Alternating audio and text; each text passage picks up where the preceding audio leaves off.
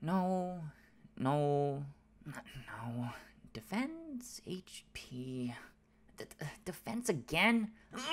Hey, what is going on guys? It's Johnny and welcome to another Genshin Impact video. In today's video, we're going to be talking about the Mystic Offering. Let's discuss about when you should use this system so you're not risking the chance of losing your valuable resources. We'll be re-rolling a bunch of artifacts as a test, uh, 100 to be exact. So let's find out if we get anything notably good and if it's worth using. Before we do jump into it guys, if you do like the video, please consider hitting that like and subscribe button. This will greatly help our channel to grow and help with the YouTube algorithm and recommend the video to other viewers. Now, without any further ado, let's jump right into it.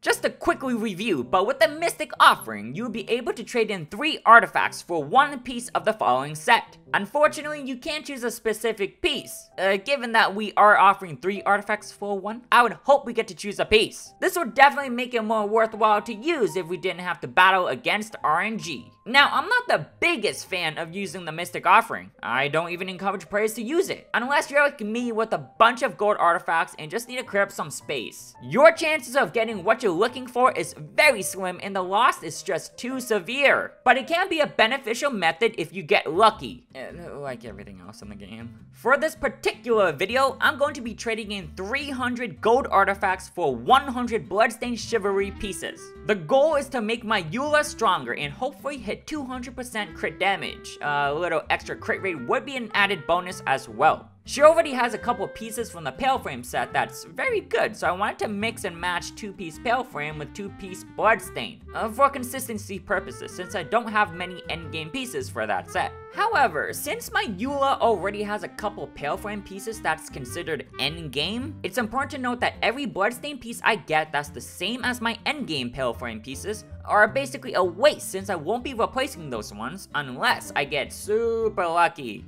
That's the biggest issue I have with the Mystic Offering, is that you can't choose a specific piece. You have to layer RNG on top of RNG to have a chance with the piece you're looking for. And in most cases, feels like a waste because you threw away 3 gold artifacts, which is a lot of artifact experience by the way. Now, I mentioned it in one of my other videos, but we have a video released talking about how to properly use your artifacts for experience and Mora. I highly recommend you guys to check it out because there is an efficient way of using your artifacts to min-max your artifact experience and more. The video will be linked in the description box below, but we can quickly recap the video. Basically, what you want to mainly do is use your gold artifacts for experience and sell your blue and purple artifacts for Mora. You'd want to mainly do this because you can't destroy gold artifacts and get Mora in return. Mora is an essential resource in the game that's highly valued and quite honestly, there's no I have enough Mora because you can never have too much. If you think you do, then what are you working for? Even myself who managed to save up to 40 million Mora still feels like it's not enough because I still have characters and weapons to upgrade. As long as there's room for improvement and upgrades, you'll need all the Mora you can get. Do you guys see the cost for upgrading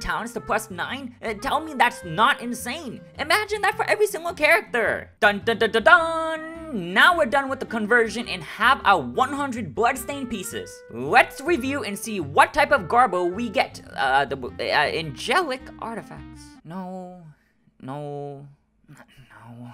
Defense, HP. Defense again? uh, pardon my French. Uh, I'll play the entire clip out, but you can see the results are just so mediocre. I can't really say we had any perfect artifacts, even for pieces that I didn't need, and that's because RNG is RNG, and the result is no different than just running regular domains, besides wasting a lot of artifacts. Now my Eula can hit 200% crit damage dream.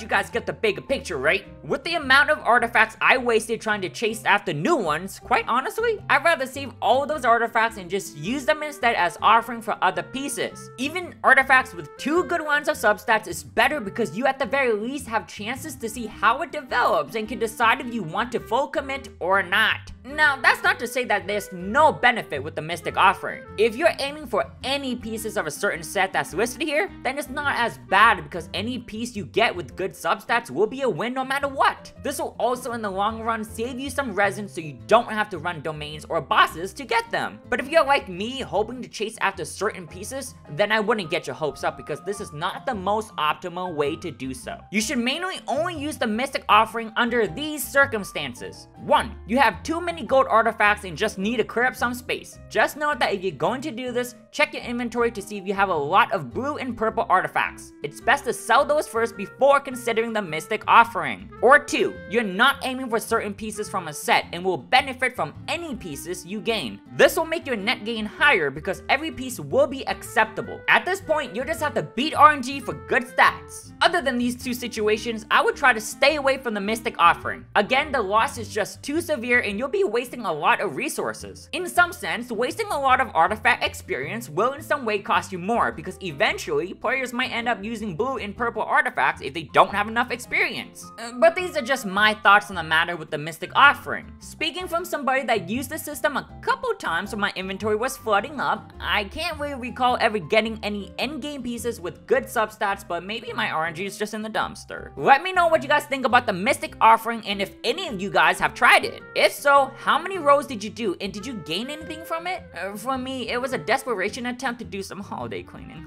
Alrighty guys, thank you so much for tuning in. If you did enjoy the video, be sure to smash that like and subscribe button. Don't forget to also turn on that notification bell so you don't miss out on any newly released videos. I've been Johnity, and until next time, I'll catch you guys in the next one.